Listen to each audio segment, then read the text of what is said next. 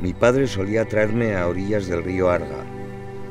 El recuerdo que más me viene a la cabeza fue la primera vez que hice chipichapa. Para mí fue como hacer magia.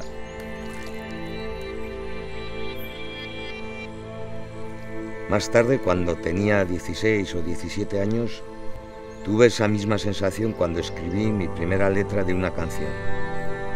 La ciudad está destruida, la tierra huele a fuego.